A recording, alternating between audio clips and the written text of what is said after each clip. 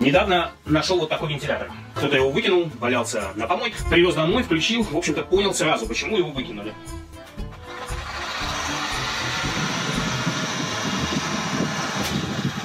С таким звуком быстро с ума сойдешь. В общем-то, мне сразу стало понятно, почему избавились от этого прибора. Что же с ним такое? Давайте посмотрим. Шум явно со стороны лопастей, либо редуктора. Что-то там не в порядке.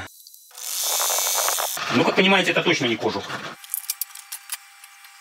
А без вентилятора не шумит. В чем же дело? Смотрим вентилятор. Вот здесь у нас какой-то подшипник или что это, который нифига не симметричный. Снимем эти лишние детали. Не шумит.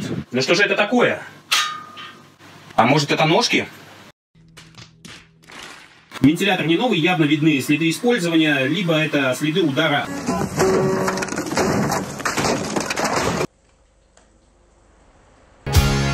Look into your eyes.